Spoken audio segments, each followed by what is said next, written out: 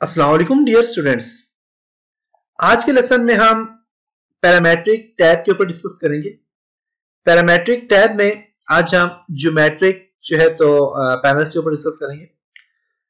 तो हम होम और एनजेड पे तकरीबन कंप्लीट काम कर चुके हैं। और इसके अलावा हम जो है तो एनवेट्स पे भी हमने तकरीबन काम कर लिए सारा, क्योंकि ये सारी चीज़ें आपके पास होम में भी थी।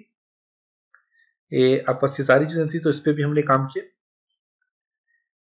रेंडर सॉलिड सरफेस और पैरामेट्रिक्स ही रहेंगे।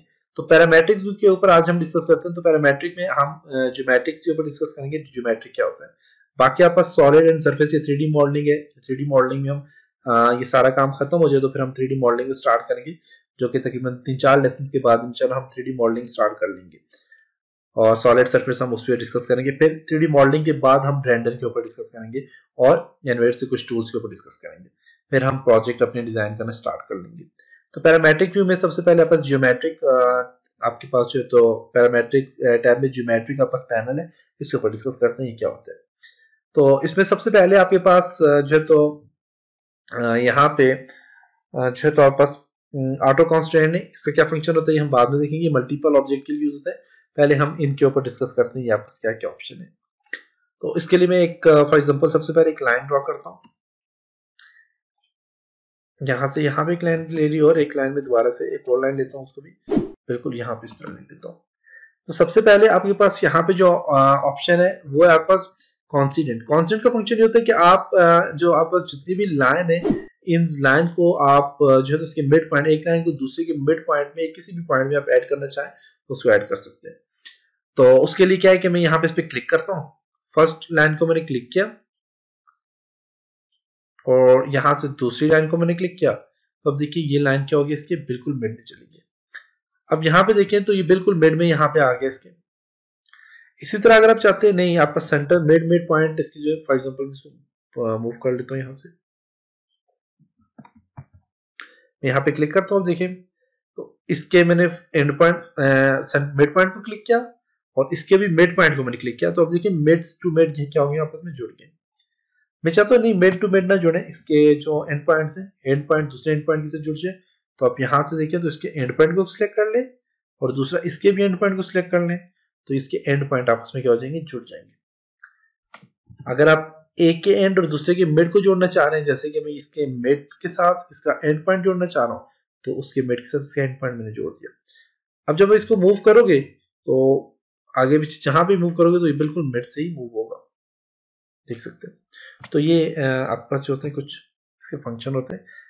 सेकेंड वन आपके पास आ जाता है कोलेनियर इसका क्या फ़ंक्शन होता है कि ये आप फॉर एग्जांपल मेरे पास ये जो लाइन है, इसको मैं चाहता हूँ बिल्कुल इसके, बिल्कुल यहाँ पे, इसके बराबर यहाँ पे एक और लाइन आ जाए, ये वाली लाइन बिल्कुल इसके साथ एडजस्ट हो जाए। तो उसके लिए मैं यहाँ से इस पर क्लिक करूँगा।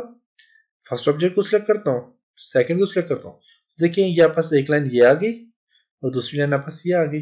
ये अलग अलग दो लाइन है, लेकिन आपस में बिल्कुल इस तरह स्ट्रेट लाइन की तरह, बिल्कुल सीधी स्ट्रेट लाइन की तरह आपस में एडजस्ट हो चुकी है। कंट्रोल जेड प्रेस करता हूँ। नेक्स्ट फॉर एग्जांपल सर्कल है। यहाँ पे एक मेरे पास यहाँ पे ये एक सर्कल है। और एक मेरे पास यहाँ पे ये वाला जो है तो सर्कल है। अभी दोनों जो सर्कल है मेरे पास, मैं चाहता हूँ कि ये वाला जो है, ये इसके बीच में एडजस्ट हो जाए तो उसके लिए मैं इसको क्लिक करता हूँ। फ़र्स्ट पॉइंट और सेकंड को सिलेक्ट करता हूँ देखिए आपस में क्या होगी बिल्कुल एडजस्ट हो चुके इसी तरह अगर आर्क हो तो आर्क को भी आप इसी तरह एडजस्ट कर सकते हैं एक दूसरे के अंदर। इनको लॉक करना चाह रहे हैं तो आप यहाँ पे क्लिक करके इनको लॉक कर सकते हैं। आप चाहते हैं कि आपस में जो तो पैरेलल लाइन चले, जैसे कि मैं यहाँ पे जैसे कि ये मेरे पास लाइन है। इन लाइन को बताता हूँ। अब ये लाइन आपस में पैरेलल में नहीं है। तो मैं चाहता हूँ ये दोनों आपस में पैरेलल में चले तो उसके लिए आप यहाँ पे इस पर क्लिक करें। पैरेलल ऑप्शन को। फ़र्स्ट और सेकंड दोनों को सिलेक्ट करें तो देखिए आपस में क्या होगी? बिल्कुल पैरेलल होगी। तो अगर मूव करें मूव करके देखिए। बिल्कुल क्या आपस में पैरेलल है? अब मैं एक लाइन को जब मूव करूँगा, देखिए दूसरी लाइन इसकी पैरेलल ही मूव हो रही है। देख सकते हैं? तो ये हमेशा आपस में क्या रहेंगे आप? पैरेलल ही रहेंगी। देख सकते हो? उसके बाद आपस परपेंडिकुलर है आपस। आप चाहते हैं कि ये लाइन परपेंडिकुलर है आपस में तो आप परपेंडिकुलर कर सकते हैं। तो उसके लिए यहाँ से परपेंडिकुलर पे मैं क्लिक करता हूँ। फ़र्स्ट लाइन को सिलेक्ट करता हूँ। सेकंड को सिलेक्ट करता हूँ। तो ये आपस में क्या होंगे? परपेंडिकुलर होगी अगर मैं इसको मूव करूँगा, दूसरी बीसी की परपेंडिकुलर मूव होती रहेगी। देखिए तो ये आपस में क्या हो गया जी? परपेंडिकुलर आपस लाइन होगी इसी तरह अगर आप चाहते हैं कि जो लाइन है नेक्स्ट आपस आ जाता है जी। हॉरिजेंटल आप चाहते हैं कि ये जो लाइन है, ये वर्टिकल है, ये हॉरिजेंटल मूव हो जाए तो आप यहाँ पे इसको क्लिक करके आप इसे क्लिक करें।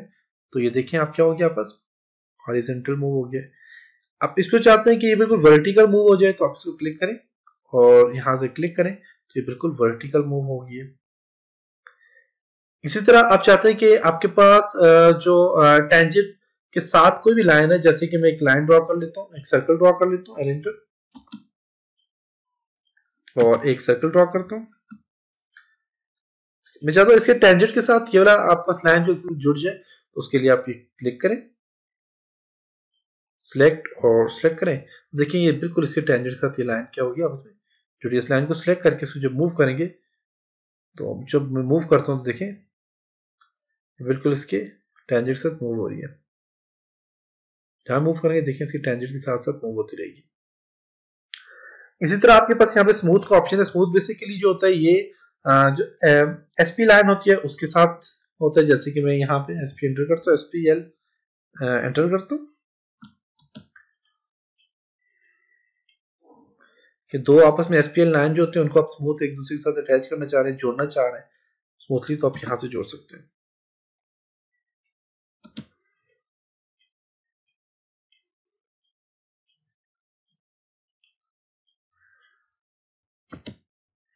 अब मेरे पास यहाँ पे एसपीएल लाइन है। अब मैं यहाँ पे इस पर क्लिक करता हूँ स्मूथ पे। फ़र्स्ट लाइन के एंड पॉइंट को सिलेक्ट कर लेता हूँ और दूसरी लाइन के एंड पॉइंट को सिलेक्ट करता हूँ। देखिए, आपस में क्या हो गया? स्मूथली एक दूसरे के साथ क्या हो गया? जुड़ गई है।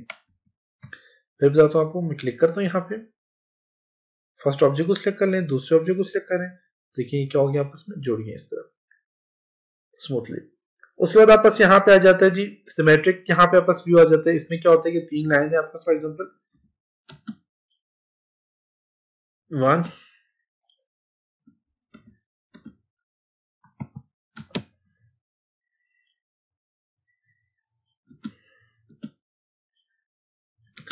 तो उसके लिए आप सिलेक्ट करें क्लिक करें।